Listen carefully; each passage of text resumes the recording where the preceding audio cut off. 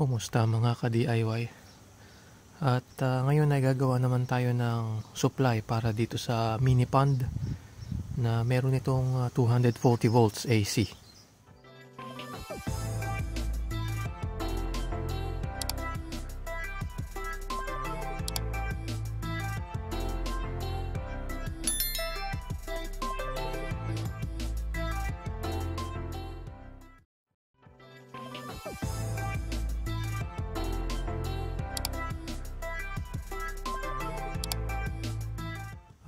Dito sa amin ay bawal ang magpatakbo ng mga wire dito sa labas lalo na yung mga high voltage yung 240 volts. Kaya kung makikita ninyo merong meron akong extension dito. Tinakpan ko lang ng uh, timba tapos makikita nyo yung wire. Yan yung pumasok doon sa may loob nitong summer house. Uh, dito pwedeng legal legal naman yung paglagay ng supply dito sa may summer house. Kaya lang dito sa palabas na ay uh, bawal ito. Illegal na ito kasi nakakuryente na. Kaya ang gagawin natin ay uh, gagawa ko ng sariling supply dito na 12 volts at saka 240 volts yung out yung inverter ang gagamitin ko. At may nakaabang na ako ditong solar panel. Matagal na ito 2012 ko pa ito kinabit dito. Uh, sa ngayon ay wala pang gamit. Walang nakakonect dito. Ayan dalawa yan. Uh, ah, 100 watts ang isa. Kaya gagawin kong PWM uh, at magbibigay yan ng uh, 10 amperes na supply. Uh, ngayon ang gagawin ko dito ko ilalagay yung batteries na lithium ion at saka yung inverter dito sa loob. Saka na lang ako magpapatakbo ng uh, kailangan dito armored wire ang ginagamit dito sa labas. Pababa dito at dito ko ilalagay yung weatherproof na socket. Uh, yun legal yung mga socket na yun kasi ano uh, hindi nababasa ng ano yung tubig. Kaya pag malagyan ko yan ng socket dyan na weatherproof ay doon ko na isasaksak yung water pump dito sa mini fish pond. At saka yung LED na strip lights. Kaya yung strip lights na yun nakakonect yun sa may uh, smart plug. Kaya nakakonect sa internet at uh, nai-on sa gabi eh, or anytime. Pero naka-schedule na yun. Kaya magiging ano niyan pag uh, nagawa ko na yun ay uh, magiging malinis ng tignan at uh, hindi na illegal kagaya niyan nakalabas itong wire dito. Kaya pinasok ko lang dyan temporary. Pero kung tutuusin illegal na yung ginagawa ko na ito. Kaya ano kaya sisimulan na natin yung ano yung paggawa nito. At uh, ito yung gagamitin nating battery ngayon. Uh, libre lang ito. Nakuha ko sa mga uh, battery ng ano laptop sa may uh, pinagtatrabaho ko at itong 17670 na batteries. At uh, naubusan na ako ng 1H650. Kaya ito maraming uh, marami akong spare. At itong battery na ito ay meron itong uh, similar ng specification. Mas mababa ang uh, capacity. Meron itong 1250 mAh. Kaya ang gagawin ko, gagawa ako ng uh, 3S, 3 series na 25 parallel at uh, nasa 75 itong uh, mahigit 75 ito. Pero 25 na lang ang gagawin ko. At saka ang problema dito sa ganitong battery ay walang nabibiling holder na kagaya nitong 1H650 uh, na hahawakan niya ng maayos itong mga batteries. At sa ganitong battery walang nabibiling holder. Kaya ang gagawin ko na lang pagdidikitin ko lahat tsaka gagamit na lang ako ng uh, tape para magdikit lahat ito at uh, napakahirap maghanap o halos wala akong mahanap na holder niyan. At uh, 3 series, gagamit tayo ng Dali na BMS with balance na ito. At ang uh, discharge current nito ay 20 amperes. Meron itong 10 amperes na charge current. At yung solar panel natin doon ay may maximum na 10 amperes na charging current. Kaya okay lang itong uh, Dali na BMS na gagamitin ko. At uh, yun namang sa box, dito ko ilalagay yung mga batteries. Uh, waterproof ito, yung takip niyan merong rubber. Pero syempre ipapasok ko naman doon sa may storage, yung garden storage ko doon. Papasok ko lahat yung batteries dito. At saka yun lang ang magiging laman. Tapos sa labas ay gagamitin ko naman yung ano, yung charge controller. Dito ko na lang ilalagay sa may uh, labas mismo. At ito yung uh, charge controller na PWM na compatible ito sa kahit anong batteries. At napipili dito yung pang lithium na meron itong maximum uh, current na 20 amperes. Kaya pwedeng 12 volts at saka 24 volts. At uh, dito ko na lang sa labas ilalagay yan. Tapos yung mga battery sa loob. At ito namang uh, inverter natin ay uh, naghahanap kasi ako ng yung reliable talaga na inverter. At uh, meron tayo ngayon ditong uh, 12 volts na 250 watt na Victron Energy. At baka marami magtatanong bakit ito ang gagamitin kong inverter. Uh, una sa lahat yung reliability ano na itong ganitong klaseng inverter at saka toroidal na ito.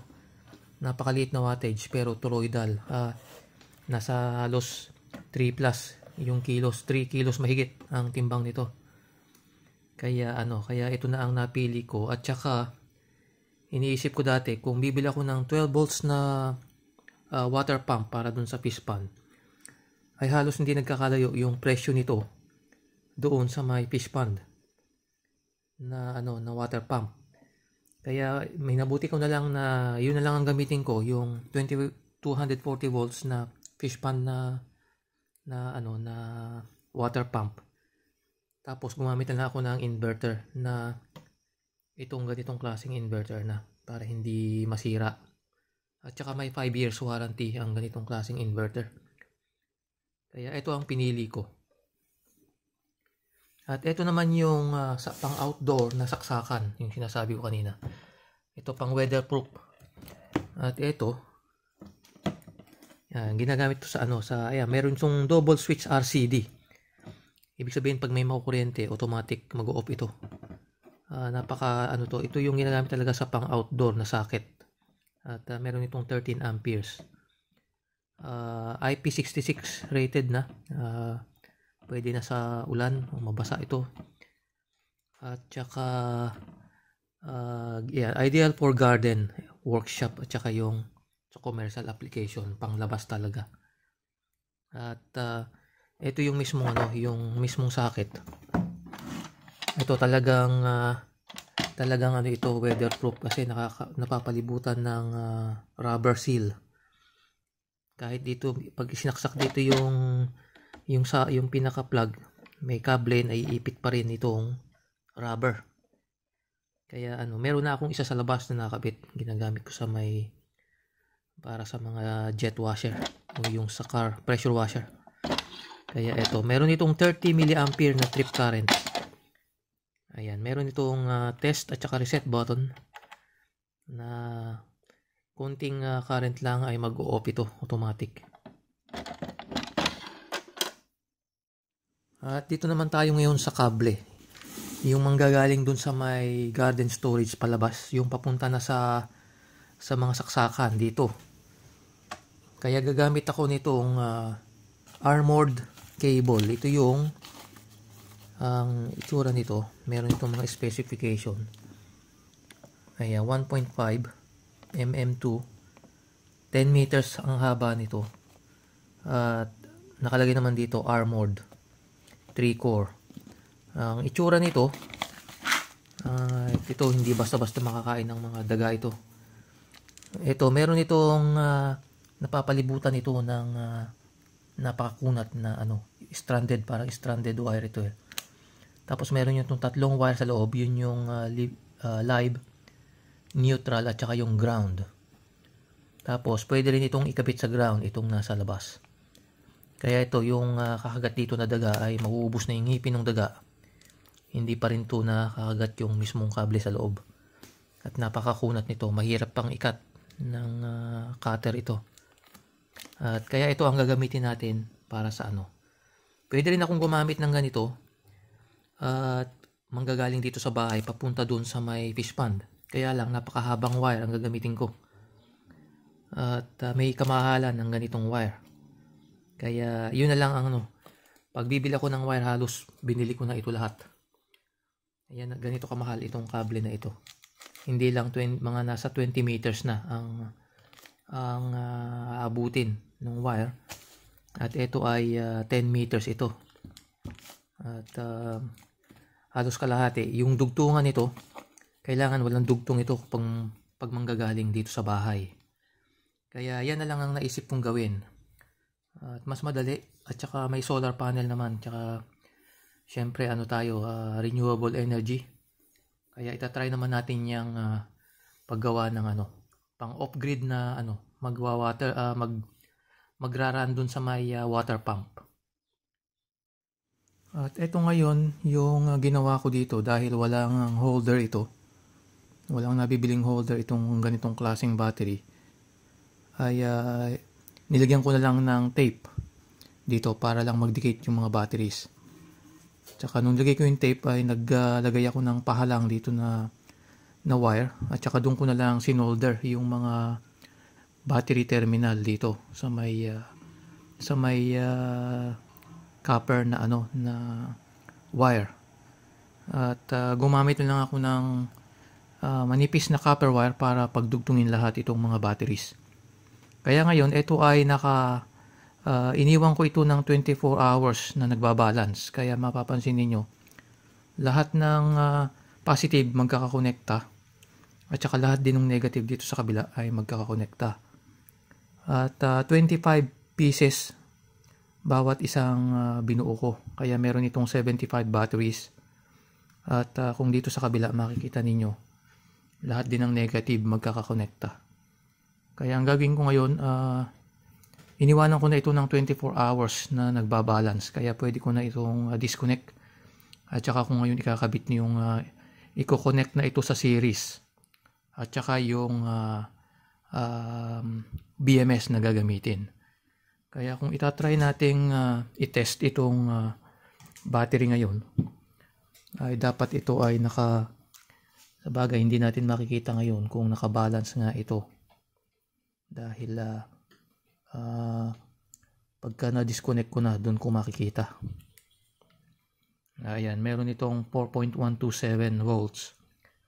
Kaya dapat lahat yan. Pag dinisconnect ko yan ay hindi nalalayo doon sa may 4.127. At ito ngayon natanggal ko na yung mga connection. Kaya itetest natin yung isang uh, battery natin, yung mga nakaparallel kung nagbalance nga. Uh, ito ay meron tong 4.127 at itong isa 4.127 at itong pangatlo 4.127 kaya nakabalance na ito lahat. At uh, parehas ng voltage. Kaya ang gagawin ko ngayon i-connect ko ng uh, series na itong tatlo at eto ngayon, winiring ko na itong uh, ah, BMS. Kaya kung makikita niyo, ito yung pinaka papunta na sa charger o kaya sa load. Ito yung itim na wire. Ngayon, yung unang uh, wire na nanggaling dito sa sa kabilang side, itong may connector. Ito yung itim. Ito yung pinaka dulo na itim. Mapapansin nyo rin merong negative na nakasulat dito. Tapos meron naman yung positive dito. Ito yung pinaka-positive. Kaya ito, ito na yung pinaka-positive ng battery. At ito naman yung pinaka-negative ng battery. Pero itong sa negative, meron itong nagdugtong kasama yung itim. Ay yung blue. Ito.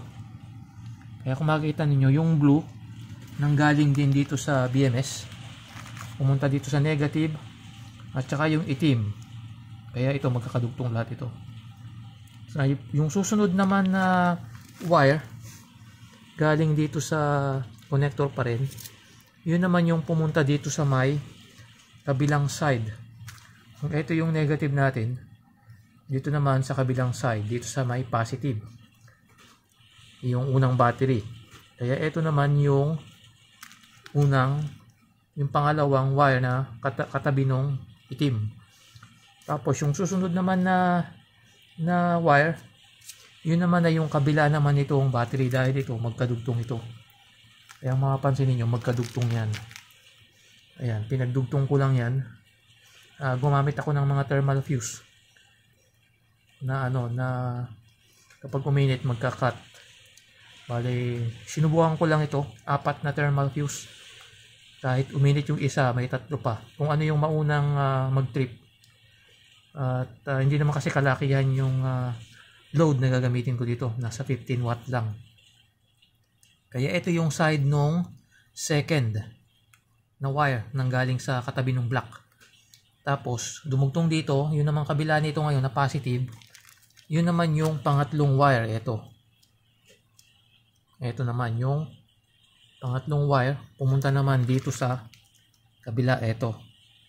Kaya yung pinaka susunod na naman, magkadugtong na naman ito. Dumaan lang dito sa thermal fuse.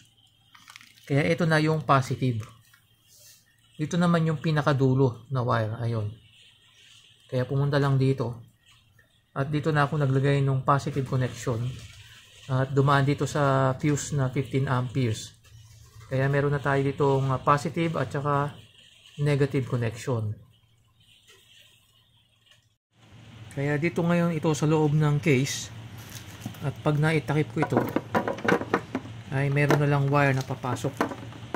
Papunta dun sa batteries. Tapos ito yung uh, charge controller. At ngayon ay natapos ko na itong wiring nitong uh, uh, power supply para dito sa may uh, fish pond. At ngayon ay ipapakita ko lang at ilang araw nang umuulan kasi 2 weeks na umuulan kaya hanggang ngayon di ko pa rin naikakabit yung uh, yung dalawang solar panels na nandun sa may kabila ng bubong. At uh, ito muna, temporary, dalawang 100 watts. Halos parehas nung uh, nandun sa bubong. At uh, may connection itong ano, uh, nakaparallel. Kaya yung parehas sa positive magkadugtong at saka yung negative magkadugtong. Dumaan lang dito sa temporary wire dahil nagmamadali nga ako at palaging umuulan. At kailangan talaga ganitong wire ang gagamitin. Itong uh, 4mm2 lalo na't parallel ito at mataas ang current. At nagbibigay ito ng 5 amperes bawat isa. Kaya kung nakaparallel yan ay uh, halos 10 amperes. At uh, napapansin ko kanina nung mataas yung tirik ng araw ay uh, medyo umiinit itong wire. Kasi ordinaryong wire lang ito na ginagamit pang extension. Ngayon ay uh, pumasok muna yan dito sa may ano pinakabubong nitong uh, shed. At dito ko ngayon nakakabit yung uh, yung ating uh, setup. Uh, ngayon naka-on yung ilaw itong load. Ayan yung uh, charge controller natin ngayon ay PWM ito. Kaya kailangan ng connection nito ay parallel. Connection ng uh, panels. So ngayon yung pumasok na panels dito ito yung uh, positive negative tumaan lang dito sa may terminal block. At positive tapos meron ako ditong uh, uh, 20 amperes. Dapat ito 15 amperes lang uh, na fuse at wala akong naubusan ako ng 15 amperes na fuse kaya temporary 20 amperes muna at ito naman yung negative dito sa may pumasok dito sa may uh, solar input. At yung battery naman sa gitna, yun naman yung pumasok dito sa may battery bank na meron tayong 31 amperes na uh, 17670 na lithium ion. Yun namang load, nilagyan ko lang ng ilaw dito. Kasi sa gabi pagka gusto kong i-check, ay yun ko lang yung uh, ilaw. Ngayon ay mayroon itong uh, 12.6 volts. At uh, fully charged itong battery ngayon dahil maghapon ng umaaraw. At ngayon lang talaga umaraw ha, halos 2 weeks na umuulan. At ngayon, uh, naka-float charge na lang itong uh, uh, battery natin kasi 1.5 amperes. At ngayon ay uh, nakatutok pa rin naman sa araw yun. At uh, dito ay mag-aalas 6 na ng hapon pero ang uh, araw namin dito ay halos alas 3 ng hapon. Kaya uh, balik tayo dito. Ngayon, 2.2 amperes ang pinoproduce. At ayun, bumalik ulit sa pinaka ano, main display 12.6 volts yung battery. Kaya yan, uh, ah, 25 degrees Celsius ang temperature dito ngayon. Uh, ah, 12.6 volts yung uh, solar panel. Tapos 1.9 amperes ang pinoproduce. Ngayon, itong uh, out nitong ano ng uh, battery naman, kung galing dun sa BMS, ay eto, pumasok naman dito sa may uh, uh, inverter natin. Bali merong fuse ito sa loob. Mamaya may ipapakita akong diagram kung paano. Uh, dumaan sa fuse galing sa loob. Pumasok dito sa input nitong inverter. At uh, itong inverter natin ay meron itong ano 250 watts. At uh, ito kapag binibili ito hindi kasama yung Bluetooth na ano VE Direct ang tawag dito. Ito. Uh, separate ko itong binili kasi ang mga kagandahan nito ay naiseset yung mga output voltage yung 230 volts pwede kong maiset yan ng 220 ah, hanggang 240 at uh, ipapakita ko mamaya kung paano yung pagset. Ngayon naman nakakonect dito yung yung uh, bluetooth. Ayan may connection yan dyan. Tapos mayroon yung power switch dyan na laging naka on at uh, na-i-on off yan sa my Bluetooth sa cellphone na yung may Victron Connect application. At ngayon yung output nitong inverter, meron na akong saksakan. Pumasok naman dito sa may dalawang saksakan. Kung ito yung output ng inverter, pumasok dito sa loob. At itong saksakan, ito yung papunta sa may LED strip lights na nanggaling din dun papunta rin sa labas. Tapos ito naman yung papunta sa may ano, socket sa labas. At pumasok doon. At hindi ko na to ginamitan ng ano, ng armored na ano, cable yung pang outdoor kasi doon na nakakabit yung ano, socket na weatherproof. Kaya kahit maulanan yun, okay lang, hindi papasukin ng tubig. Kaya yan, naka-on yung dalawa ngayon. At meron ding USB charger dito na mayroong 3.1 amperes na 5 volts. At yan yung connection. Ngayon pupunta tayo dito sa may uh, sa labas. Ito yung weatherproof na socket. At uh, meron lang itong nabubuksan lang ito.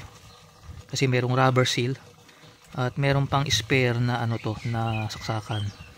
Kasi ang nakasaksak lang dito ngayon ay itong pump nung ano nung uh, yung water pump. Ito namang isang wire.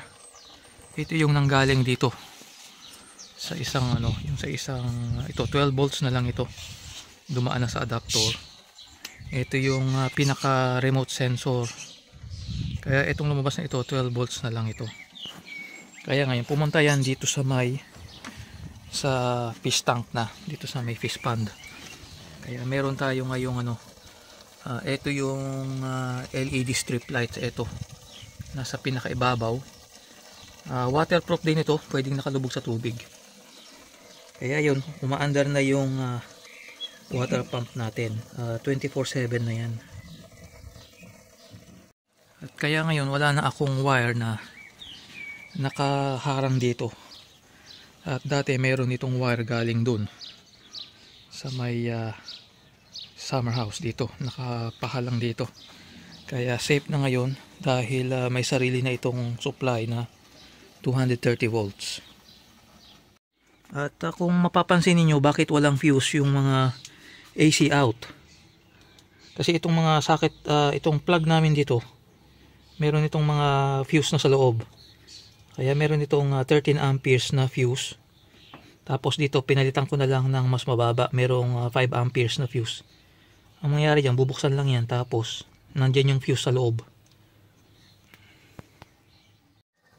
At ngayon naman ay ipapakita ko yung sa application ng uh, Victron Connect na naka Bluetooth ayan ngayon uh, ang output voltage nito ay 230 volts. Ang uh, state ay inverting. Meron itong uh, 12.3 volts na battery. Ngayon dito sa may settings meron itong ano yung sa mode. Kung mapapansin niyo yung, yung nasa eco doon eco na automatic yan na kapag ka hindi na detect meron yan settings na kung ilang ano ito. Yung sa wake up minimum power. 15 watts yung ano yung uh, uh, pump natin. Kaya na-detect nung uh, inverter na mayroong power kaya naka-on. Pero pag bumaba yan sa 14 watts automatic i-off niya yung ano inverter. Kaya ngayon papakita ko itong sa mode. Pwede nating ma-off yung inverter. Ayan ngayon papansin niyo ay nag-off yung uh, pump yung water pump. Kaya ngayon i-on ulit natin. Meron din yung on uh, permanent on off at saka yung eco. Kaya dito na lang tayo sa eco. Para pag na-detect nung uh, inverter na mababa na yung wattage yung 15 watt ay i-off niya yung ano yung uh, uh, inverter. At nasa may ano naman na user na kung paanong paggamit kaya yan naka-on na naman at dito tayo ngayon sa may uh, output voltage. Ito pwedeng mapalitan to. At may plus minus. Kung pwedeng 220. Okay, tapos store settings. Kaya yan, meron tayo ngayong 220 volts. Uh, pero yung specification ng water pump ay uh, 230 volts. Kaya diyan ko na lang i-set. Ayan. Ngayon, meron tong output frequency na 50 or 60 Hz. 50 Hz kami dito kaya uh, yan ang ginagamit namin. Uh, itong itong dynamic cutout hindi ko pa yan na-try. At low battery shutdown. Ito yung sa yung mga supply, yung mga batteries na lithium ion. At meron itong uh, ang lithium ion hanggang 3 volts kaya ang isa. Kaya hanggang 9 volts ito kaya. Kaya ngayon, ang shutdown muna ang sinet ko ay 9.3 volts. At uh, yung low battery restart alarm and alarm ay 9.7 volts. Na kapag nag-off yung uh, inverter ng uh, 9.3 tapos tumaas na naman yung voltage ng 9.7 ay automatic mag-on naman yung ano inverter. At charge deck, hindi ko pa natatryan, sinet ko lang ng 12.5 volts. Tapos ito na yung sa wake up minimum power. 15 watt, pwede rin ma-adjust yan. Tsaka yung dito sa mga shutdown. Yan ang kagandahan ng ano ng uh, sa Victron na iseset lahat. Kaya pwede ito compatible kahit sa anong klaseng battery. At uh, hindi kagaya ng ibang inverter na ano na meron ng 11 volts uh, 11 volts na nakaset. Kaya kapag ginamitan na ng lithium yon 11 volts lang ay patay na yung ano yung inverter. Hindi kagaya nito, low battery shutdown 9.3 volts.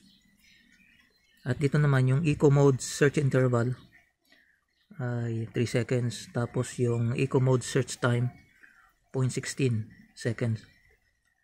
At yun lang naman ang nandito sa may application nitong ano nitong uh, Victron Connect. Tapos yung pinaka main na na display ay yan yung uh, nakikita yung uh, AC output at saka yung voltage input. At ngayon ay ito naman yung ating uh, diagram. At uh, magsisimula tayo dito sa may ano, sa may solar panel. Uh, ito ngayon, meron tayong dalawang 100 watt na solar panel na nagpo-produce ng 5.6 amperes ang isa. At nakakonect yung dalawang positive at saka yung dalawang negative. At kasi meron tayo dito ang PWM na charge controller. Kaya hindi po pwede dito yung ano, yung uh, series connection. Kaya kailangan parallel. At ang labas nitong uh, solar panels ay meron itong 21 volts na uh, magdodoble yung current. Kaya 5.6 yan. Doble yan. Kaya halos mga 11 volts. At ito, meron tayong uh, fuse dumaan dito sa 15 amperes. Sabihin na lang natin na meron itong 10 amperes na pinoproduce. Kasi hindi naman talaga ma ma-full yung 5.6 amperes per panel. Kaya sabihin na natin 10 maximum. At uh, meron tayo dito 15 amperes na fuse. Pumasok dito sa charge controller. At ito naman yung sa gitna. Ito yung sa battery. Positive at saka negative. Dumaan din sa 15 amperes na fuse. Tapos dito meron itong uh, uh, terminal block dito na nag-distribute. Papunta yung isa doon sa may positive ng uh, inverter na dumaan din sa fuse. Kasi galing sa battery yun. Ngayon naman, papunta naman ito sa may positive ng battery. At ngayon naman yung uh, minus o yung negative ay pumasok naman dito sa may uh, negative ng ating BMS. Tapos meron din itong terminal block na nag-distribute. Din naman dumiretso sa may uh, inverter na pure sine wave. At uh, mas recommended kung gumamit ng uh, DALI at yung mga ibang klasing mumurahin na na BMS ay uh, napansin ko ay hindi accurate yung pagbabalance. Hindi kagaya nito na talagang malapit yung pagbabalance ng mga battery. Kaya ngayon, dito tayo ngayon sa B-, ito yung blue. Pumunta naman dito sa may negative nung battery. Ito naman yung series, 3 series. Kaya makikita nyo dito, 3 series 25 parallel na meron itong 1250 mAh times 25 kaya meron itong 31,250 mAh o kung sa ampere yan ay meron itong 31.2 ampere hour. At meron akong nilagay na araw dyan, ibig sabihin yun yung nagdadagdag ng battery. Kung ilan yung nakaparallel. Kung halimbawa dito, ito ibig sabihin dalawang parallel ito. Doon din dito. Ang series, yung magkakadugtong. Kaya 1, 2, 3, 3 series, 25 parallel, yun yung papuntang pa ganun. Na kapag nakakumpleto tayo ng 25, yun ang 25 parallel. At uh, madali lang naman i-wiring itong ano, itong BMS. At ibig sabihin yan, meron itong negative tsaka positive. Kaya makikita doon yung negative, positive. Yung negative, yun yung black wire na nauuna. Yun yung i-connect sa may, may minus o sa may negative ng battery. Tapos yung susunod, doon naman sa positive ng uh, battery na negative naman ng susunod na battery.